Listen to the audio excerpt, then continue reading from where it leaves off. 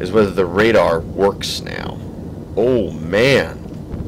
Yeah, they really shifted the, the maneuverability on this thing. It's considerably uh, more sluggish than it was before. I have a stream up yesterday of me using this thing, and there definitely wasn't that, you know, that uh, drift. You can see it, right? Because here I'm going to go holding left on the stick, and now I'm pulling right on the stick. Wow. Okay. Holding right on the stick, that's full. Left on the stick. Yeah. Full left on the stick, and then just neutral. Wow. Let's see how it is with the uh, pitch. There's the neutral. Goes all the way down. All the way up. Okay.